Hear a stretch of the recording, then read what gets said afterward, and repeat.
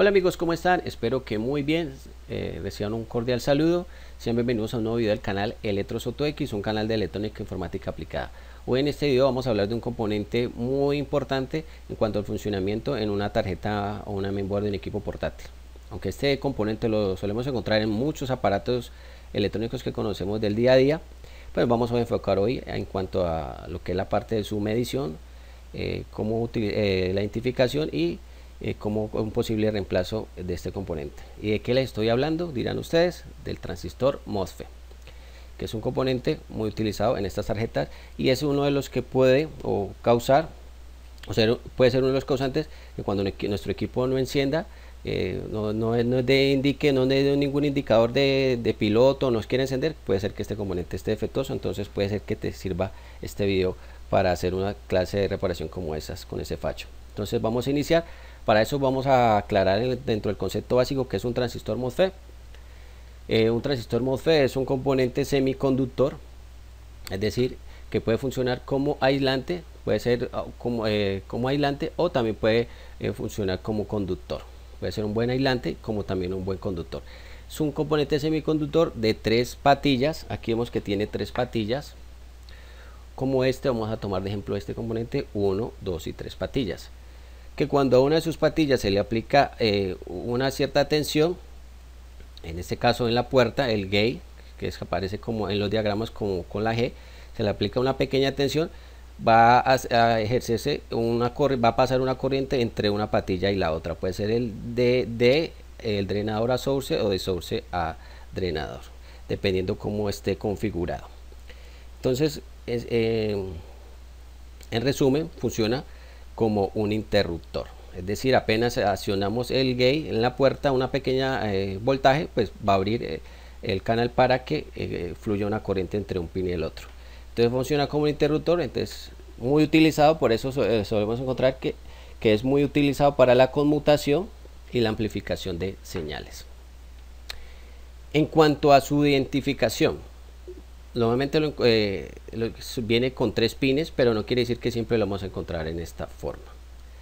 De tres pines como tiene uno, dos, tres. Aquí vemos en el diagrama, vamos a, voy a mostrarles un diagrama aquí.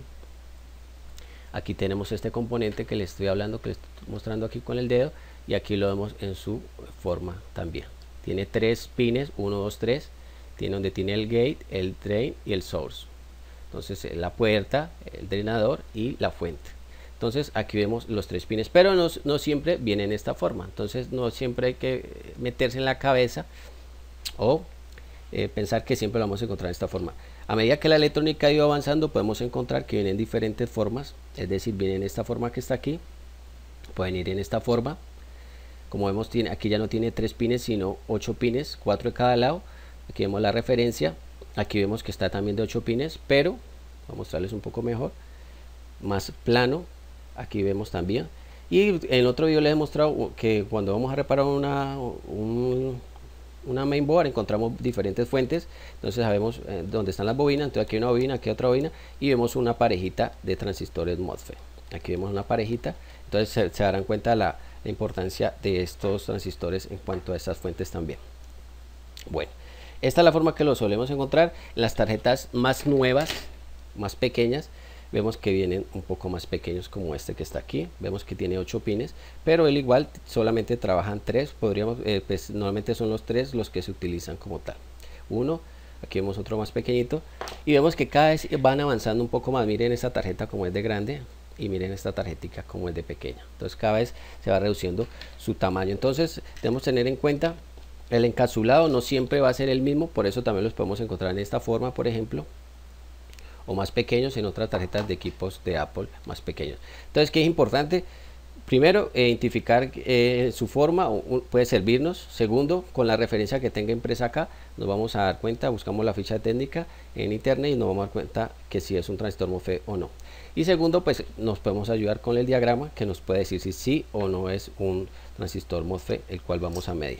Bueno, dicho esto, vamos entonces a em, hacer una práctica muy interesante. Vamos a hacer eh, una práctica en una mainboard de un equipo portátil de fabricante Lenovo que viene este color azul. Este fabricante pues nuevamente viene estas tarjetas de color azul para identificar un poco de su marca y en esta de fabricante portátil Asus que viene en ese color verde. Eso no influye pues el funcionamiento, solamente es algo como en la parte de, fabricante el estético. Bueno, vamos a revisar esta tarjeta, es una tarjeta que está reparada y vamos a hablarle un poco de estos transistores MOSFET eh, que pueden causar en la tarjeta y cómo empezar a medir y su reemplazo. Bueno, entonces vamos de una a la práctica, que tengo la tarjeta, tengo el botón encendido, tengo el cable de energía que es lo que necesitamos para hacer nuestras mediciones.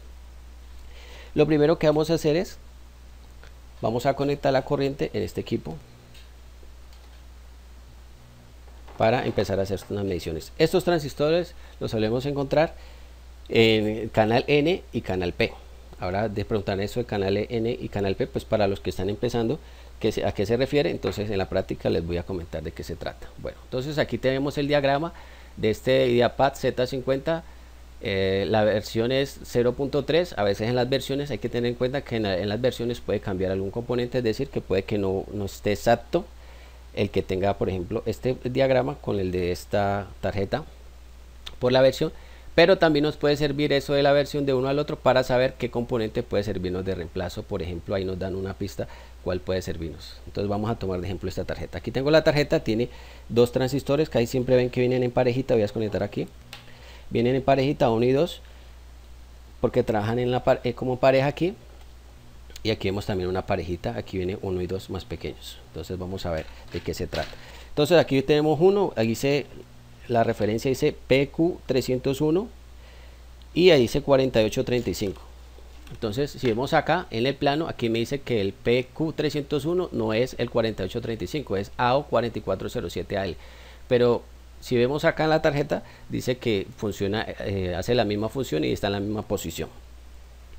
Si vemos aquí el PQ302, que es el que está al lado, que está aquí, dice 302 CU4483 y este sí lo tiene, C48 44 44 83 44 qué pena hay 44 83 es decir el que está aquí. Es decir, que este no está en la tarjeta, este que estoy señalando aquí con el mouse no está en la tarjeta, pero si está el, que está aquí, igual funciona igual, o sea que ya sabemos cuál podría ser el reemplazo eh, de uno o del otro. Si consultamos la ficha técnica, es decir, del original, vemos aquí el original, el 4835, que es el que está aquí en la tarjeta, para identificarlo, 4835, este que está aquí que estoy mostrando con el dedo, y aquí tengo la ficha técnica, es de canal P. Entonces tiene ese de canal P, que estoy mostrando con el dedo, y el que estoy acá, voy a mostrárselos, también es de canal P, de 30, dice 30 voltios. Decir, que los dos son de canal P, entonces es lo que nos interesa por ahora, que es de canal P. Todos dos son de canal P. Si vemos la ficha técnica de los dos, vemos que tienen características similares, a pesar de que la diferencia, eh, las referencias son diferentes, pero vemos la consultamos la ficha técnica y tiene características eh, similares entonces pueden servir sin ningún problema a veces vienen los dos con la misma referencia entonces pues no tenemos problema bueno eso nos sirve también para saber si en el caso que en otra tarjeta muy parecida se dañen estos transistores pues ya sabemos eh, qué transistores nos pueden funcionar en esa etapa sin ningún problema. Bueno yéndonos aquí en el diagrama aquí vemos en el diagrama lo siguiente.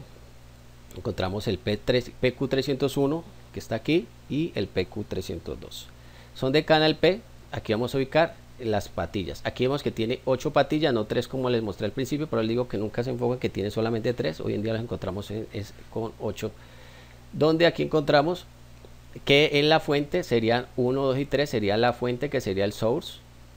S aquí podemos ver si comparamos con este sería 1 2 y 3 sería la fuente el source que sería 1 2 y 3 el gate sería el 4 vamos a ver aquí el gate sería este 4 de la puerta y el drain sería el 5 6 7 8 si lo comparamos con este 6, 5 6 7 8 pero si vemos la posición de este de este eh, transistor MOSFET vemos que la, la corriente entra por aquí los 19 voltios entran por aquí y van por este diodo amper pasan por aquí fluyen por aquí y pasan al lado de acá. Es decir que ahí no está cumpliendo de cierta forma la función de eh, transistor MOSFET porque pues está en la dirección que va la corriente eh, como va en el diodo. Entonces aquí, aquí entraría la corriente sin ningún problema. Entonces vamos a ver en la práctica si es verdad conectemos aquí coloquemos el negativo aquí en la escala de tensión 200 y vamos a medir en la primera en la primera línea es decir aquí. Vamos a medir 19.2 este es un este es un portal que funciona con un adaptador de 20 voltios igual puede funcionar con este adaptador que le tengo que no es el original pero funciona para hacer la práctica hoy no 19.2 en la salida cuánto marca 19.2 vamos a ver es decir que vamos en el drenador tenemos 19.2 en el source tenemos 19.2 y en el gate cuánto tenemos en el gate 4.9 casi 5 voltios. Entonces qué significa esto que en este caso este transistor es un transistor de canal P donde la parte del, del gate si ven el gate que eran 5 voltios que vimos aquí los gates es menor que lo que, que lo que, es, que está en la fuente en ese caso pues lo que está en el drenador. Es decir pues aquí está funcionando aquí no está haciendo su trabajo como debe ser pero entonces está dejando pasar la corriente sin ningún problema. Está funcionando como como como una bandido de protección ahí. En ese caso pues vamos, tomamos como ejemplo eso entonces la corriente está pasando acá a P2 entonces aquí en P2 donde tengo el multímetro aquí ya tenemos 19.2 o sea que ahí está la tensión. Aquí si vemos que está el mismo transistor desde canal P pero aquí ya está cumpliendo la función. Es decir que aquí ya lo tenemos entrando a la fuente. Y tenemos el gate aquí que necesita los 5 voltios. En este caso vamos a ver cuántos voltios mide aquí. Sería en la patilla acá. 5 voltios y entonces si están los 5 acá activando si, si existen 5 voltios acá están los 19.2 que nos marca acá es decir que se cumple que el, que el gate o sea el voltaje la tensión del gate tiene que ser menor a la de, la fuente. Como se cumple esa, esta sentencia entonces qué va a pasar aquí pues que va a haber una tensión acá. Entonces vamos a medir acá en esta resistencia cuánto marca no marca 19.2 es decir que aquí en P3 este punto 3 tenemos 19.2 si vemos esta resistencia que vemos aquí es una resistencia donde se encuentra van unos pines hacia un IC que van a permitir hacer la medición de la corriente eh, cómo está fluyendo la corriente ahí si hay una caída o no caída de corriente ahí. Entonces vemos que la resistencia 19.2 es decir que hasta aquí hay una tensión que puede alimentar sin ningún problema en ese caso pues alimentar las otras fuentes este tipo de down pequeñas fuentes para que funcione. Pero la pregunta surge, bueno, y si están los 19 o los 20 voltios que normalmente vienen aquí, pero los 20 voltios acá, para aquí se 19 por el adaptador, pero aquí no hay sino 6 o 8 o 5, ¿qué significa eso? Hay que entrar a revisar si realmente al gate le están llegando los 5 voltios como mínimo o los que necesita para poder es en donde entran 20 que salgan 20 porque si esta tensión de 5 voltios es, es, mayor de los 5 voltios entonces puede que aquí salgan menos. Entonces esta es la diferencia cuando, entre un eh, MOSFET de canal P a un N que ahora vamos a ver. Entonces en, en resumidas en los transistores de canal P como este necesitamos que el gate la puerta la tensión de la, de la puerta sea menor que la de la fuente entonces aquí vemos el ejemplo muy práctico que son 4.6 más o menos. 4, casi 5 voltios ahí en el gate en la fuente 19.2 se cumple es decir que aquí podemos tener. Si en el gate hay más voltios es decir vamos que 18 voltios o 15 voltios para aquí no nos van a salir los que necesitamos. Puede ser que el transistor puede ser que esté en corto o puede que los 5 voltios que lleguen aquí que, que tenemos que verificar de dónde vienen estos 5 voltios se preguntaban, bueno, ¿de dónde vienen estos 5 voltios para activar este transistor? Pueden venir de, un diferencial de voltaje aquí de estas resistencias, es decir, de estas resistencias que están aquí, o pueden venir de un IC también, dependiendo cómo el fabricante lo diseña el, circuito. ¿Ya? Pero entonces puede venir, en este caso, pueden ir de, vienen de estas resistencias de, de diferencia de este divisor de voltaje que viene aquí esta resistencia. Si hacemos el cálculo nos, pues, nos, daría más o menos el voltaje que tiene que estar en la puerta para que funcione. Si este circuito está defectuoso o no se cumple el, el funcionamiento de alguno de estos componentes, pues no nos va a generar los 5 voltios para que active este transistor. Entonces, aquí vemos que estos transistores de canal P funcionan entonces con 5 voltios en la puerta y trabajan sin ningún problema. Estos dos son diferentes eh, referencias, pero cumplen la misma función, al igual que aquí tenemos el reemplazo dado por el diagrama que está aquí. Bueno, entonces no vamos a, meternos más en esa parte. Ya vimos esa parte, una vez que estén los 19 voltios acá, el voltaje que está acá, voy a colocar aquí en el negativo, qué pena. Ya vemos que el circuito va a funcionar, aquí vamos a tener el voltaje, por ejemplo en este equipo que pues no tenía más no tenía otro no tenía un problema más grave pues vamos a encontrar por acá ya los 3 voltios que deben de tener eh, el equipo ya entonces vamos a arrancarlo sin ningún problema. Como vemos aquí que ya arrancó el equipo. Entonces lo conectamos lo volvemos a conectar y él prende sin ningún problema. Listo. Bueno ahora vamos a ver el siguiente tema que es los de canal N. Entonces aquí vemos otra tarjeta. Aquí tenemos otra tarjetica y vamos a ver de qué trata el del canal N. Vemos que en el canal P se necesita menos eh, poco voltaje en la gate para que se active el circuito. Pues se active el transistor MOSFET y funcione. Vamos a ver en estos que está aquí. Aquí vemos entonces el mismo tema, vemos la entrada, vemos dos pequeñitos, eh, las referencias están aquí, Vamos a ver de qué se trata, vamos a buscarlos en internet. Lo que pasa con estos diagramas de, equipos eh, nuevos es que a veces no solemos encontrar estos diagramas, entonces dificulta un poco, pero ya entra la experiencia un poco a saber eh, eh, cuánto puede ser la, la, parte que necesitamos. Entonces, ¿qué vamos a hacer aquí? Lo siguiente, yo aquí tengo la foto, voy a mostrarle la foto de uno de estos, de estos transistores MOSFET con la referencia, porque la ficha técnica a veces es un poco complicado conseguirla, entonces vamos a ver la, la parte. Ven aquí les voy a mostrar aquí lo siguiente. Por aquí tenía la aquí vemos entonces la imagen. El A5BN miren la forma que tiene. Tiene 1 2 3 8 pines. 1 2 3 4 se alcanzan a observar por fuera pero realmente aquí vemos que eh, lo que es la parte del drenador va aquí van juntos toda la misma parte y aquí lo que es la fuente serían 3 y uno para la puerta Conseguir la ficha técnica a veces es complicado, conseguir a veces el diagrama es complicado, pero no por eso pues vamos a, no vamos a resolver el caso. Aquí vemos que hay un TPC 8067 de otro de otra mainboard, otra mainboard de un equipo portátil Asus que cumple la misma función, es decir, primero van en la misma etapa de la entrada, segundo pues para, para, poder hacer un reemplazo como más, eh, más efectivo, van en la etapa de la entrada de otro equipo que trabaja igual, con las mismas características, tiene, es de canal N, si vemos que aquí el canal N, el otro era canal P, y cumple con las características que más o menos se necesitan o que se necesita para que este equipo trabaje. Entonces, ¿cuál va a ser el reemplazo? Pues va a ser este que está aquí. Si lo vemos, tiene la misma forma, es del mismo canal N y cumple con las especificaciones para que trabaje en, un equipo como esto. Que vamos a ver aquí? Que estos son de canal N y los otros eran de canal P. Entonces aquí dice P y aquí dice N.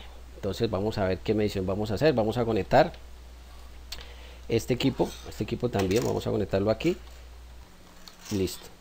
¿Qué vamos a hacer ahí? El equipo vieron que encendió los LEDs decir que el equipo está funcionando. Es un equipo que fue reparado también de estos componentes, pero vamos a ver cómo se hizo esa reparación. Pero primero vamos a hacer la medición del voltaje. Vamos a medir la escala de voltaje, lo mismo, colocamos el negativo aquí y vamos a colocar aquí para mejor ubicación, vamos a medir acá en lo que es la parte de negativo acá y en la entrada de corriente primero miramos cuánto entran 19.6 vamos a medir acá en el transistor cuánto entran 19.6 vemos hace lo mismo que en el otro que, el diodo va a la misma dirección la, corriente del, adaptador va en la misma dirección del diodo que tiene interno esto es decir que deja pasar la corriente sin ningún problema 19.6 no hay ningún problema y aquí en, el, en lo que es la parte de la fuente 19.6 drenador estoy colocando la punta en el drenador estoy colocando la punta ahora en la fuente en los tres pines de la fuente que les comentaba y ahora vamos a medir el gate cuánto mide el gate 24.8 oh es un voltaje bastante alto, ¿no? Comparado con lo que está entrando. Están entrando 19 y donde salen esos 24 para activar este. En ese caso, pues no lo estaría en cierta forma, pues habilitando porque no está en la posición que debe ser para que funcione como MOSFET. Solamente está haciendo un paso de la corriente, pero ahí igual existen los 24 que es los que necesitan para activar este transistor. Como ven, la, entrada de corriente del transistor pues, es, simétrica, es decir, que puede entrar por el drenador, como puede entrar de, drenador a fuente, como de fuente a drenador, ya depende eh, cómo lo quieran poner el, a funcionar en, el equipo, en la mainboard. Entonces sabemos que aquí sale en la fuente sale en 19.6 y aquí vemos este transistor que este fue el reemplazo que se le colocó. Este es el reemplazo que es este que está aquí. Vemos aquí el TPC 8067 y vemos que aquí sí está en la posición que es es decir aquí entra en la fuente vamos a colocar nuevamente el negativo acá aquí entra en la fuente 19.6 ¿cierto? Ahí está entrando en la fuente y en el gate, ¿cuánto hay en el gate? 24.8, es decir, casi 25 voltios están ahí. Entonces, ¿qué es la diferencia entre este y el otro? Que en este se necesita en la puerta, en el gate, un mayor voltaje para que este se active, pero si vamos a ver si es verdad. Miremos en la resistencia que va aquí, 19.6, es decir, que lo que está entrando aquí, en la fuente de este transistor que ven chiquitico aquí, está saliendo acá es decir que está trabajando, está funcionando como un conductor, está pasando de un lado al otro, está funcionando como un pequeño conductor ahí, pero apenas se le quite el, corriente, los 25 voltios al gate, pues se va a abrir acá, ya no funciona como, eh, como un conductor, sino como un aislante, por eso es semiconductor, porque puede ser aislante, puede ser conductor, pero tiene que cumplirse eh, la sentencia o, o, las, eh, o, el, el, paso de que tenga, 20, tenga el mayor Hemos dicho que el voltaje del gate sea mayor que el de la fuente para que pueda pasar estos 19.6 voltios. La pregunta viene, bueno, ¿y dónde vienen estos 24 voltios? Porque si el equipo está, en este caso, está ahí, el, botón de encendido está por acá abajo, vamos a desconectarlo acá porque pronto se encendió. Pero un ejemplo, este equipo lo vamos a conectar y entra en 19.6 voltios, que es lo que marca ahí, de dónde salen esos 24 voltios para activar el gate, para que el equipo, para que el transistor MOSFET funcione. Pues eh, normalmente en estos eh, para estos fabricantes pueden colocar un integrado donde tenga eh, transistores de switcheo, capacitor y resistencia para amplificar el voltaje, aumentar el voltaje de 19 a 25 que es lo que necesita esta puerta para trabajar. Eso lo puede hacer algún transistor integrado aún estando el equipo apagado, es decir que no lo encendamos todavía, los a pesar de que no lo hemos encendido, los 24 están ahí para activar estos transistores. Si alguno de estos transistores se pone corto, que es lo que le pasó a este transistor que se le colocó de reemplazo, pues ¿qué va a pasar? Que aquí vamos a ver 19 voltios, pero aquí no vamos a ver voltaje, es decir que aquí no van a ver 19.6 voltios, es decir que al no haber 19.6 voltios, que es el B+, que normalmente como se conoce, pues no va a alimentar estas pequeñas fuentes de acá y por ende pues no va a funcionar la board y por ende no vamos a poder encender el equipo. Entonces si se dan cuenta la importancia de estos dos transistores que están aquí. Entonces en resumen vemos que encontramos en una board encontramos transistores MOSFET de canal N donde el gate, el voltaje del gate, del voltaje de la pata gate, del pin gate tiene que ser menor al de la fuente para que trabaje siempre y cuando esté en la posición de para, eh, como transistor MOSFET y no como, eh, como un conductor de la electricidad como tal por medio de un diodo. Entonces, que se cumpla esa, esa condición, va a funcionar como en este caso. ¿Que dónde viene el voltaje de, para el gate para activar ese mismo transistor estando el equipo apagado? Pues puede venir de, divisor de voltaje, que puede ser unas resistencias, puede venir también de un IC, de un integrado, que, que, mande eso o dependiendo como el fabricante lo quiera diseñar ese, ese voltaje de tensión para activar este MOSFET. Eso para los de canal N y para los de canal P pues vemos que el, el el voltaje en la pata gate, tiene, eh, la puerta, el gate tiene que ser eh, mayor que, eh, que el voltaje de la fuente. Es decir, pues que se cumpla también esa condición como por ejemplo en esta board. Una vez que cumpla la función, pues vamos a tener estos componentes funcionando. Por último, vamos a hacer una medición muy sencilla. Vamos a colocarlo en la escala de diodos. Este multímetro y vamos a medir de una vez esta tarjeta, estos componentes.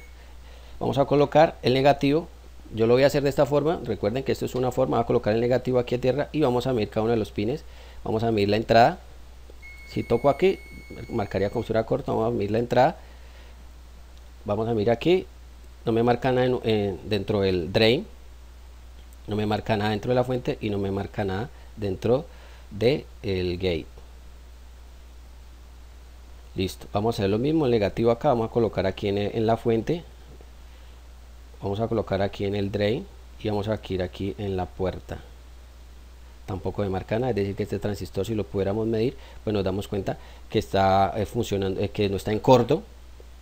Pero si queremos medir el transistor internamente pues podemos colocarlo, cambiar las puntas y hacer la medición para eh, darnos cuenta cuando está midiendo. Estos dos transistores están bien, no están en corto un transistor de esto en corto, como le digo, provoca que el equipo no encienda o que nuestro adaptador cuando lo conectemos se apague el piloto porque hay un corto bastante grande y va a bloquear el circuito del adaptador interno. Vamos a hacer la misma medición con este. Vamos a medir acá coloquemos el negativo aquí. Vamos a colocarlo en la escala de, Dios. Vamos a medir aquí en la entrada en el drain aquí en el source aquí en la puerta aquí en el vamos a medir aquí en la fuente en el source aquí en la puerta y aquí en el y aquí en el drenador vemos que no hay no marca corto si intercambiamos las puntas entre cada una de ellas vemos que no hay ningún problema vemos que está funcionando. Así mismo podríamos eh, hacer la operación y mirar eh, en cuanto a estos transistores también, dependiendo de dónde estén, pues hacer las mediciones como, como podrían ser. Bueno amigos, espero que este video les haya sido de su agrado. No olviden dejar sus comentarios. Eh, gracias por seguir este canal. Espero que este video les haya sido de su agrado. Y no olviden comentar. Espero verles en un próximo video. Chao, chao. Se cuida.